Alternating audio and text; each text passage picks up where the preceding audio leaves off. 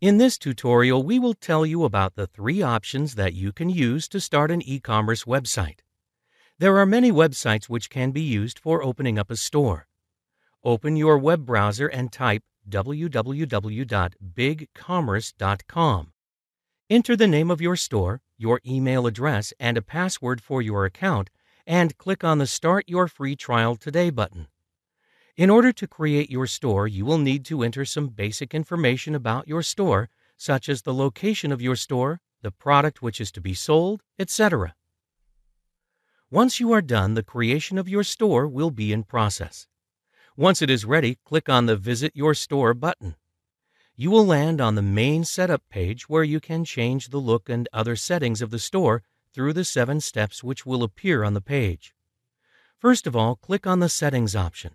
From here, you can change the name of the store, enter the address, and make other changes while you are in the Website tab. Right next to the Website tab, there will be seven other tabs. It is not necessary to change all your settings, but let's have a look at some of them. The Language and Date tab allows you to set the time and date of your region. The Images tab allows you to set the image sizes. If you go to the Display settings, you can select the number of products that will appear on the main page or the number of products per page. After you are done with the settings, click on the Save button, which is on the top left corner of the page, and you will be redirected back to the main page. To choose your store's design, click on the third option. From here, you can apply different themes to your website. In order to add a logo from your computer, Click on the Upload a Logo Image from My Computer radio button. Select the logo image and add it.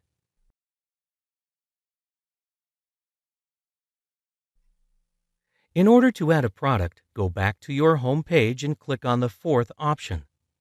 As we have used a free template, some products will already be included in our store.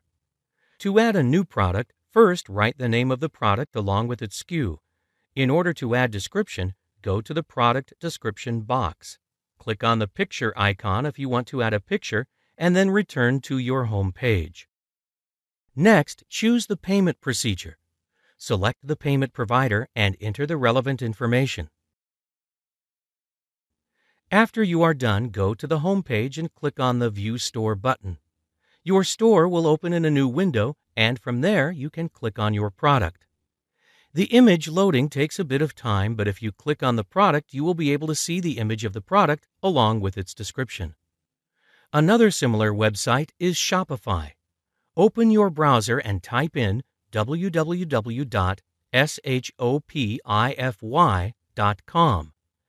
Enter the information which is asked at the bottom of the page. Write the name of your store along with the email address and password, and then click on the Create Your Store Now button. After a few moments, your store will be created. To visit your store, click on the Take Me to My Store button. When the new page opens, click on the Add Your First Product button in order to add a product. Before you can do so, you will be required to enter some details such as your name, address, city, etc. After you are done with the details, click on the I'm Done button. You will be taken to your home page. At the bottom of the page, you will see that you can set your web page in an easy step-by-step procedure. If you take your mouse to Products, which is at the bottom of the page, it will direct you to the Products tab. Click on the tab and then select the Add a New Product option. Write details about your product and then scroll down to add the image for the product. At the lower end of the page, you can enter some more details.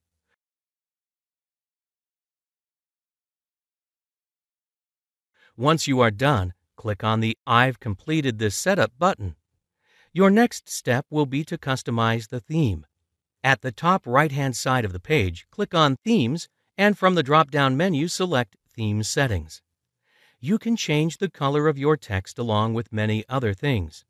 Once you are done, click on the Apply Changes button and then return to Home.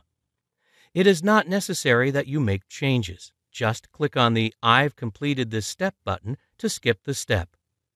In the next step, which is related to taxes, we have made some changes just to show you how you can modify your settings. Next step allows you to set up your shipping settings. Click on the Preferences button and from the drop down menu select Shipping. After you are done, enter your shipping charges and click on the View My Store button. When the store opens, you can see that the hammer which we have included in the products category is shown. In order to order the hammer, you can click on the Buy button. The third website which gives you similar services is www.volusion.com. That's V O L U S I O N.com. After you have logged on to the website, click on the Try It Free button. You will be given a 14 day trial period. Fill in the relevant information, and after you are done, click on the Start My Trial button. A basic theme will be applied to your store. Click on the Quick Start button, which is at the bottom of the page, and a menu will appear in front of you. You can personalize the theme or add a product by going to the Add Product tab. Write a description about your product, and to add an image, click on the Add Image button. Once the product has been added, you can view it on your store. Now let us suppose you want to change the shipping settings. Click on the dashboard, which is at the top of the window, and then click on the Settings tab. Once the drop down menu appears, select Shipping. Once the shipping page opens, select the countries that you will be offering shipping services to. After filling in the required details, such as name, zip code, etc., choose the carrier that you will use.